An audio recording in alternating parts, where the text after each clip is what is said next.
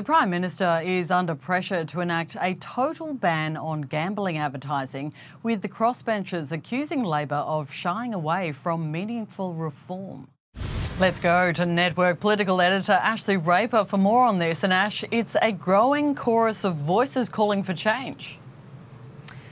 Yes, Ursula, and the government has been grappling with what to do about this for some time. In June last year, it was handed a report from a parliamentary inquiry. Now, this report this parliamentary inquiry was chaired by a Labor MP, the late Peta Murphy, who died last year. And in this report, it was unanimous. The committee she chaired was unanimous in the fact that gambling ads should be banned. Not straight away, that it should be done over time in, in increments. Now, the government is still finalising its response, and there has been speculation that perhaps it won't follow the recommendation for a total ban, that it may be partial, and that has angered members of the crossbench who have ramped up their pressure today as the government finalises its decision.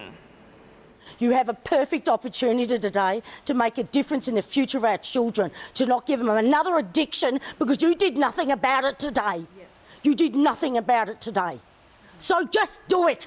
Show some goddamn courage for once in your lives for the future of our children. We are working through these issues and the government has made it very clear that the status quo regarding Order. the saturation of gambling advertising, uh, particularly where children are exposed to it, is untenable.